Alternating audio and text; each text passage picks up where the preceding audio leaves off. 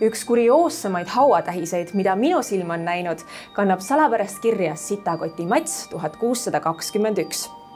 Tallinna Ülikooli doktor Pille Arnek selgitabki kohe lähemalt, millest räägivad vanad Eesti hauakirjad.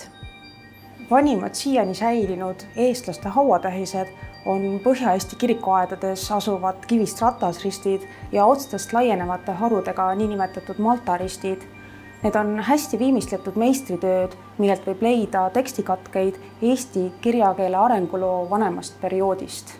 eestlastele kuulunud hauatähiste kasutuselevõtu aeg ja hulk näib olevat võrdelises seoses eestikeelsete trükiste arvu kasvuga seitsmeteistkümnendal sajandil ja ühtlasi lugemisoskuse edenemisega.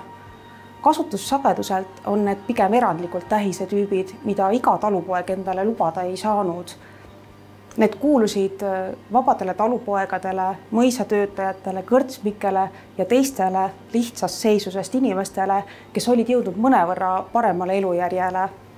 küllap kasutati ka puust tähiseid, aga neid ei ole säilinud.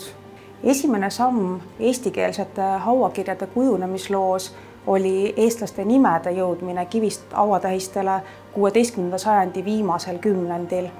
muu tekst oli kas saksakeelne või puudus sootuks kulus veel pool sajandit, enne kui astuti järgmine julge samm ja nimede kõrval hakati tähistele kirjutama ka muid eestikeelseid sõnu. kaheksateistkümnendast sajandist on säilinud vaid üksikud eestlaste tähised. sõja, katku ja näljahädade tõttu traagiliselt alanud sajand jättis oma jälje.